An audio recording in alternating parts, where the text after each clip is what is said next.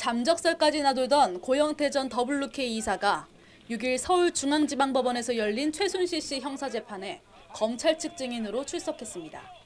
취재진의 쏟아지는 질문에 아무런 답변 없이 서둘러 재판정으로 들어간 고 씨는 피고인석에서 자신을 쏘아보는 최 씨에게 눈길 한 번 주지 않고 곧바로 작심한 듯 관련 증언을 쏟아냈습니다.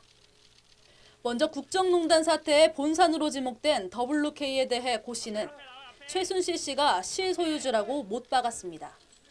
자신의 회사였다면 자신이 이사직에서 잘렸겠냐는 겁니다. 고 씨는 이어 다른 대표들도 다 바지 사장이었고 최 씨가 업무 전반을 지휘했다고 거듭 강조했습니다.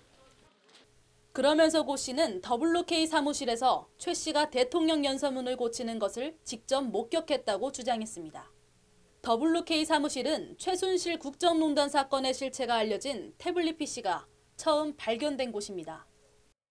고 씨는 최 씨와 박근혜 대통령의 관계에 대해선 최 씨가 대통령을 위해 일한다는 말을 하는 것을 여러 차례 들었다며 가까운 사이 같았다고 증언했습니다. 고 씨는 또 최 씨가 청와대 비서들을 개인 비서처럼 생각하는 것 같았다고도 말했습니다.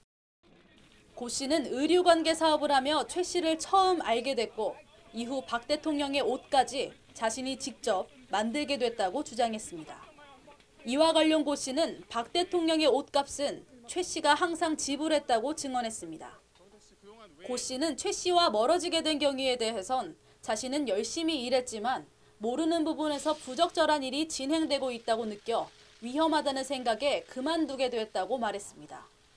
이에 대해 최 씨 측은 WK를 실질적으로 운영한 사람은 고 씨라며 최 씨는 자금을 지원해 준 것뿐이라고 주장하는 등 고 씨의 진술을 조목조목 반박했습니다. 고 씨가 사이가 틀어진 최 씨를 모함하기 위해 거짓 증언을 하고 있고 최 씨는 거짓 증언의 피해자라는 겁니다.